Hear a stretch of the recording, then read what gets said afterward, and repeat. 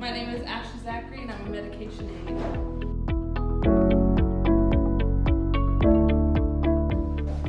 My favorite part about working for Tech Ridge is meeting all the new residents and seeing all the new faces and